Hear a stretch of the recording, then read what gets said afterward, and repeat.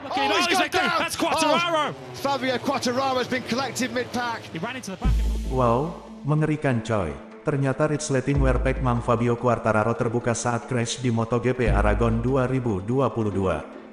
Halo coy, jumpa lagi di channel ini di seputar MotoGP 2022. Kalau belum subscribe, subscribe dulu. Oke lanjut coy. Sebuah foto tangkapan layar dari kejadian saat Fabio Quartararo terjatuh di lap pertama MotoGP Aragon 2022. Peristiwa itu bisa kau akses dari video MotoGP.com, di detik ke-25 memperlihatkan satu gambar yang cukup mengagetkan coy, yaitu terlihat bahwa sepertinya bagian depan dari wearpack Alpine Stars yang dikenakan Fabio terbuka, melepas chest protector dan memaparkan bagian depan tubuh pembalap Prancis yang memang terbiasa tidak menggunakan inner suite ini. Masih jadi misteri penyebab jelas mengenai kejadian ini.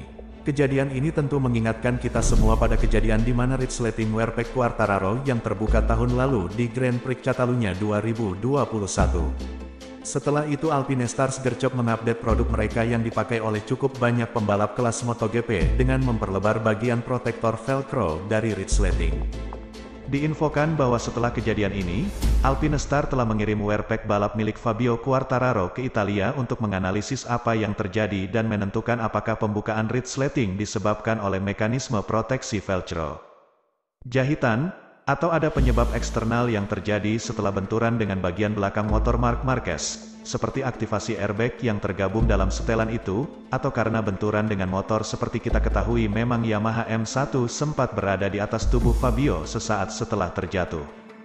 Untungnya dengan keadaan resleting terbuka tersebut, jika Mamen sekalian lihat di video Fabio mayoritas berada dalam keadaan terlentang, ia hanya berada dalam keadaan tengkurap di akhir crash ketika berada di daerah green line dengan kecepatan luncur yang lebih rendah ketimbang saat terpelating sehingga mungkin ini hanya menyebabkan besot-besot memerah di bagian dadanya.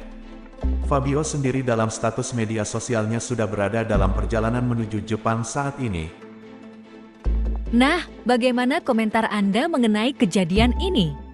Silakan tulis di kolom komentar saja cuy.